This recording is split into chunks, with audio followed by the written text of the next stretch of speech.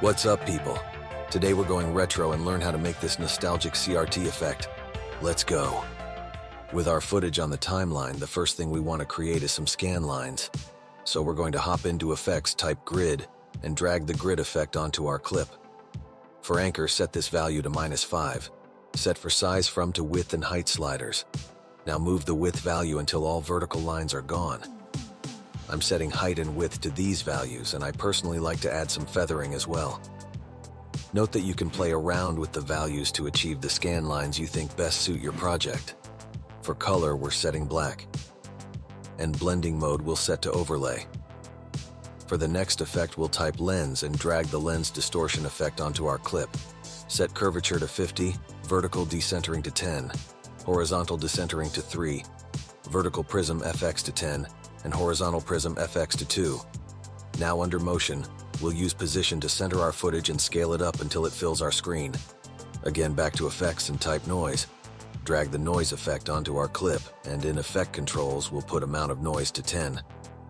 Let's head up to window and select Lumetri color. In Lumetri color under basic correction, we'll turn up exposure, contrast, highlights, and whites. Then in the Creative tab, we'll turn down Vibrance some and shift Shadow Tint a bit into the red. Highlight Tint will drag towards the blue. This will give a magenta-like ambiance to our footage. Once more, we will travel back to Effects, type in Channel Blur, and drag the Channel Blur effect over to our clip. We'll set the value for red blurriness to 50 and blur dimensions to horizontal. This will add a glowing chromatic aberration-like effect. Now for the subtle cherry on top, we go back to Effects, type Strobe, and drag over the strobe light effect. We'll set Blend with Original to 98%, Strobe Duration to 1, Random Strobe Probability to 35%, and Strobe will set to Makes Layer Transparent. Finally, set the Strobe Operator to Add, and Random Seed to about 5. This is to make our footage softly fluctuate. Let's render real quick and see what we've got. Pretty cool. To save this effect as a preset so we don't have to go through this process each time, go to Effect Controls, hold the Control button and select every effect apart from opacity and motion.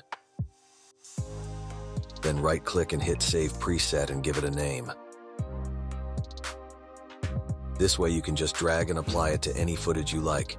Just go to Effects and you'll find it under Presets. The only thing you have to do is adjust the position and the scale under Motion. Maybe adjust the color grading in Lumetri a bit, and you have your effect. Quick and easy. Okay, that is officially it for this video, you guys. Like and subscribe for more tutorials, and we will catch you all on the next one.